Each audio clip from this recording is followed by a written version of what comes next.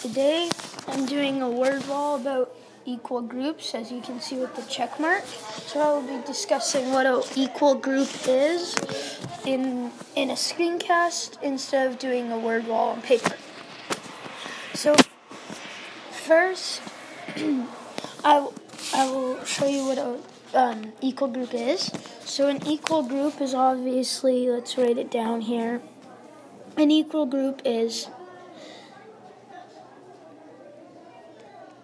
more than one group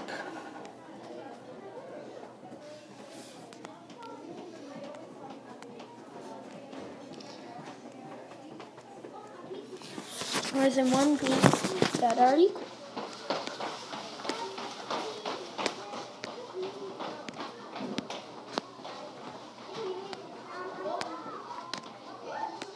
So that's what it is. So an equal groups are more than one group that is equal. So let's just get that out of the way for a second. So you saw what that looks like. And as the example right up top there, they what they have is they have three groups They have three groups of four. So they have three groups of four. Um, not necessarily does equal groups all have to be different colors. That's something that you can add in if you want to add in, but an equal group is basically what like like I said, more than one group that are equal. So if I had to do an equal group, I'd probably do one like this. So I'll do I'll do mine with tallies.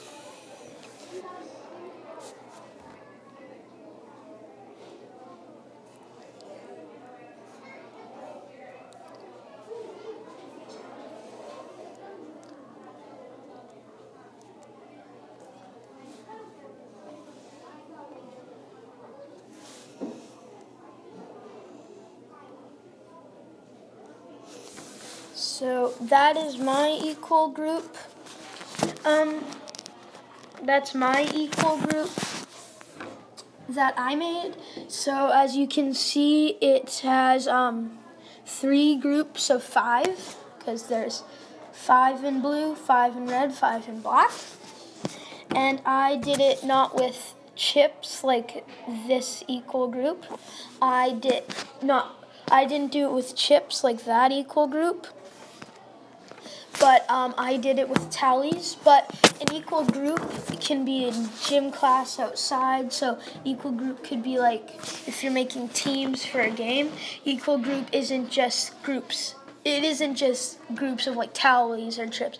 Equal groups can be anything. It could be your pencils, your action figures, anything. So that is my word wall of equal groups. And um, yeah. Bye.